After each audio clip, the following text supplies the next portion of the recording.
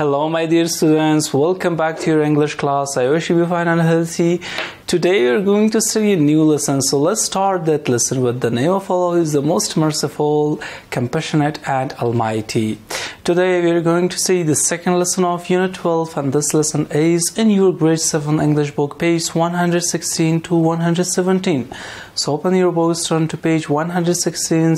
Uh, let's start the second lesson of your ګرېډ سیون انګلیش بوک ګرانو زده کوونکو تاسو ټول ته بیا هم ښه راغلاست وایم هیله من یم چې ښه اوسئ د انګلیسي مضمون ته مو ښه راغلی نن ورځ یو نوی لوست لولو دغه لوست هم ولولو پای ته یې ورسوو ګرانو زده کوونکو But my dear students it will be also very good to have a short look to the previous lecture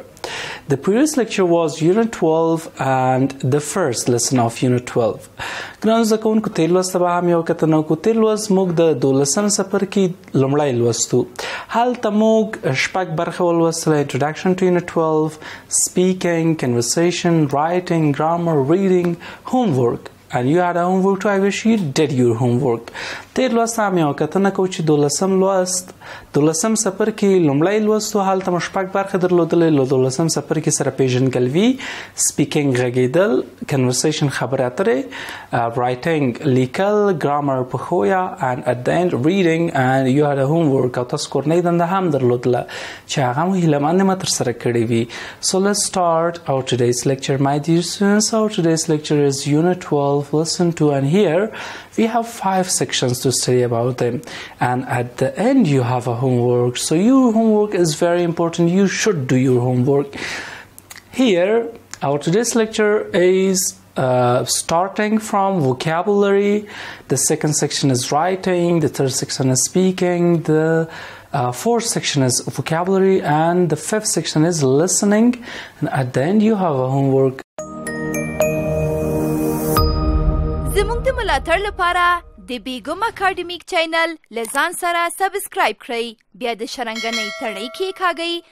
ترڅو زموږ ټولو درسي ویډیوګانو ته لاسرسی ولرئ او له هغو څخه برخمن شئ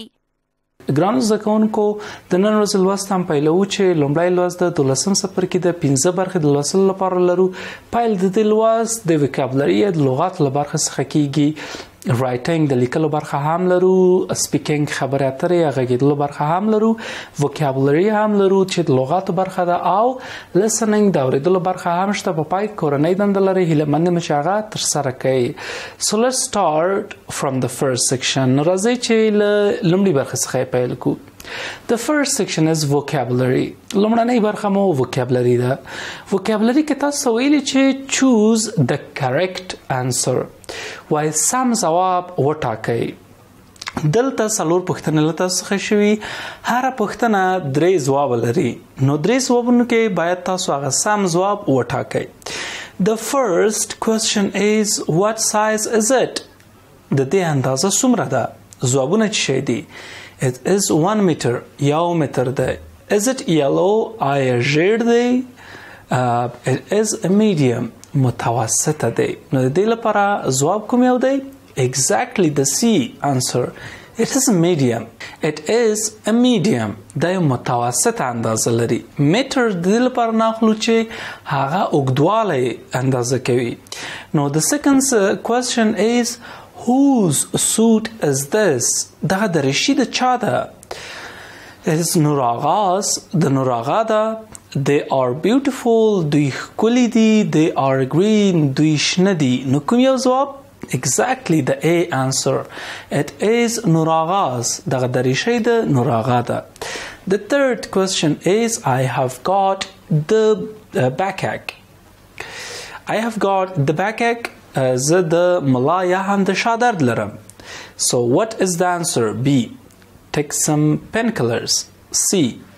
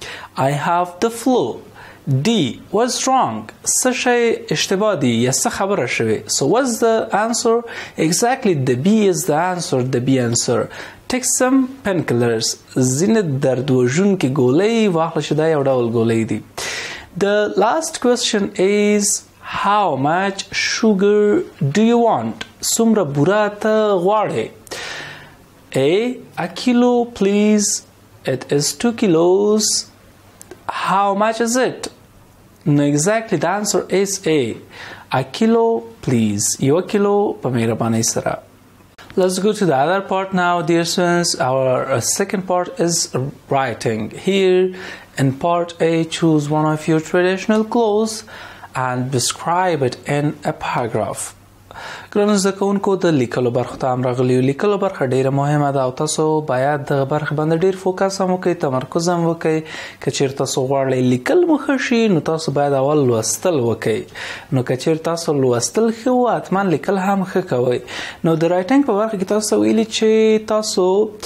یو له محلي یا هم دودیزو لباسونو څخه مو وټاکئ and describe it in a paragraph او په یو پاراګراف کې تاسو توضیح کړئ مثلا افغاني لباس دی چې کومه تاسو ټاکئ مثلا د خزو لباس دی کوم یو تاسو ټاکي هر دودیزه جامه چې د افغانانو ده تاسو یو لاغنه و ټاکي او پاړه یو پاراګراف ولیکي مثلا یخن ټاکي چې د یخن پاړه کولای شي یو پاراګراف ولیکي وی ټاکي چې از بلاک اند از بیوټیفول اند کولای شي آی لوف دیس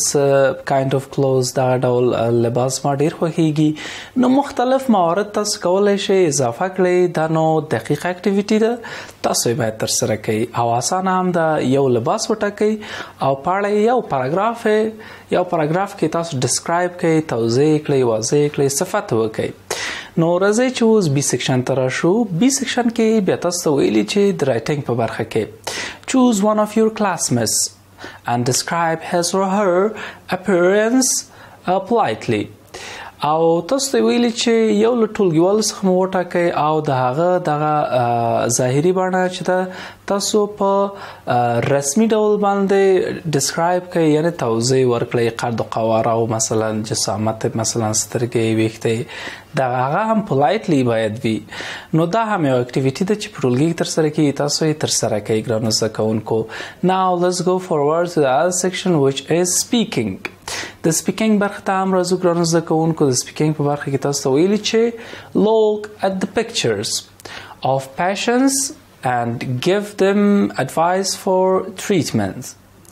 تاسو ویلي چې دغه انځورونه ته وګورئ چې د مریضانو انځورونه دي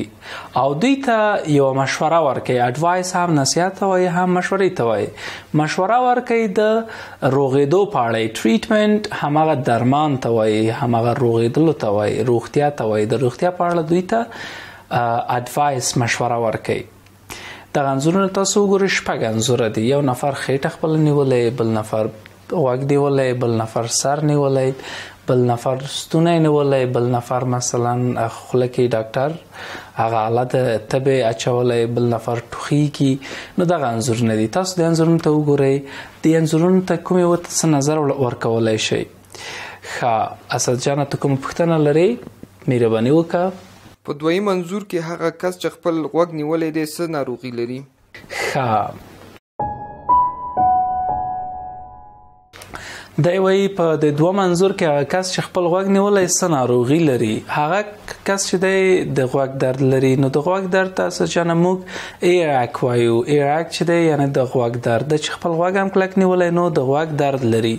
دا نور انځورونه ته د غوږ د درد لپاره تاسو مشوره ورکوي پوهیږي چې څه مشوره باید ورکړي یو انسان د خېټې درد لپاره څه مشوره ورکوي د ستن درد لپاره د تبه لپاره د ټوخي لپاره دا ټول هغه مریضې دي چې تاسو په دغه مریضان دي دوی ته اډوایس باید ورکړئ چې څه باید تر سره کې فکر به وکړي اسانه ده سخت نه ده ستونزه نه لري سو ناو په دې لچ تاسو دغه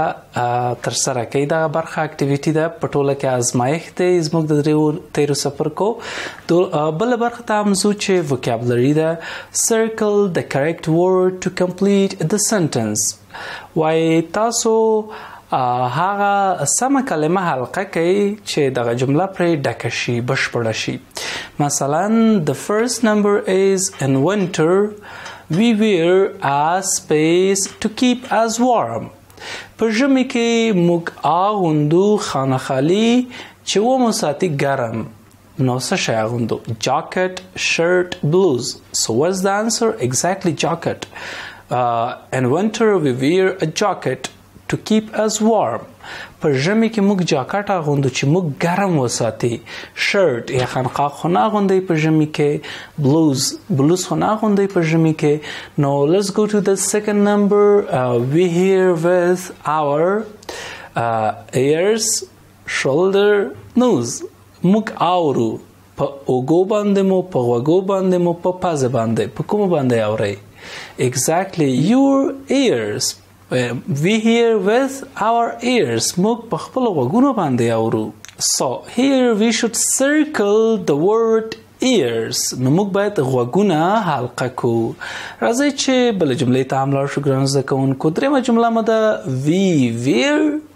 Space to protect our head from coldness and hotness. So trousers, shirt, پکول head. ګرانو زده کوونکو دلته تاسو ته په درېمه شمېره کې ویلي چې موږ آغوندو بیا خانه خالي ده چې ومو ساتي سر له یخۍ او ګرمۍ نه څه شی اغوندو تراوزرز پتلون اغوندئ چې سر مو له ګرمیو یخنۍ نه وساتي یا مثلا سکرټ لمن اغوندئ اور د سی انسر ایز پکول هډ د پکول خوله اغوندئ نو ایگزیکټلی وی ویر پکول هډ ټو پروټیکټ اور هډ فرام کولنس اینډ هاټنس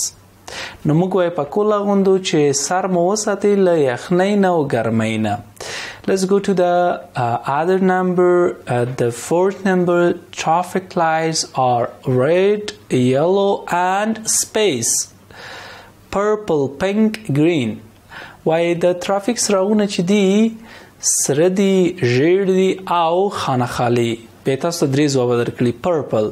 بنفش دی بل څراغ پینک ګلابي دی که ګرین شین دی سو وات ایگزیکټلی ګرین نو ګرین نام دغه شین یا زرغون سره سور شته ژیړ شته او زرغون شته نو پنځمه شمیرې ته هم راځو ګران زکونکو دا تاسو ټول زکارو مبیا نور برخه تاسو هم کار کوي سمه ده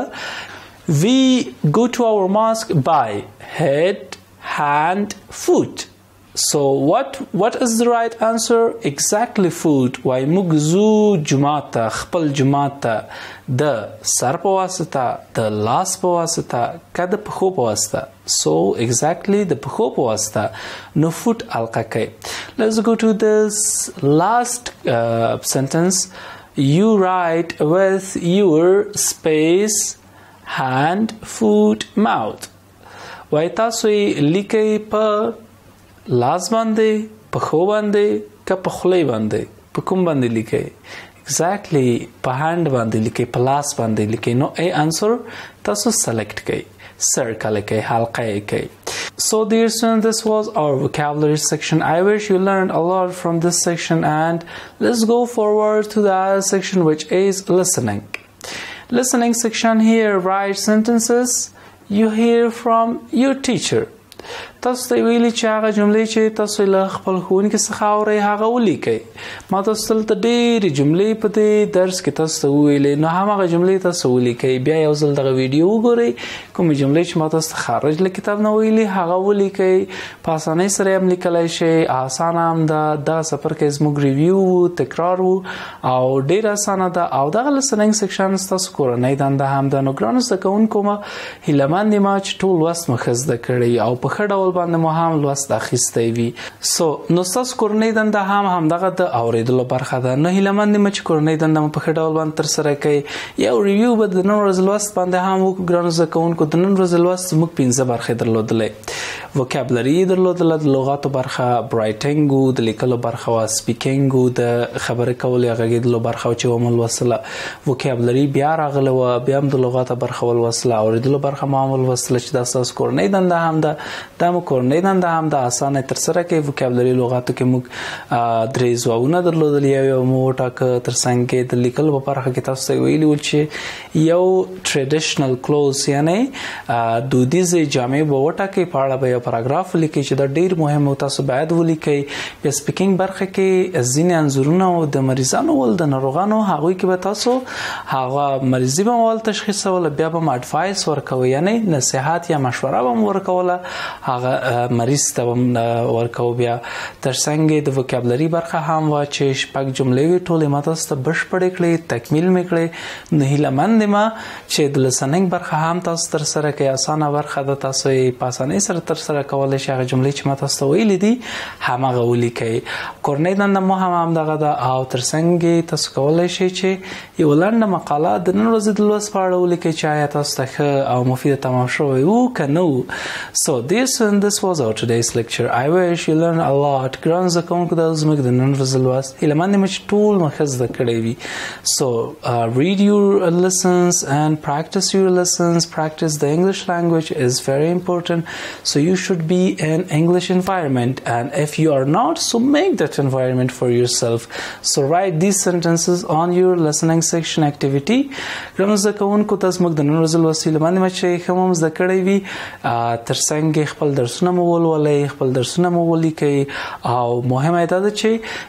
تاسو باید د انګلیسي په محیط کې ووسئ که د انګلیسي په محیط کې نه یاست هماغه شی محیط ځان ته جوړ کړئ د بل درس له پیل وړاندې لنډه دمه اخلو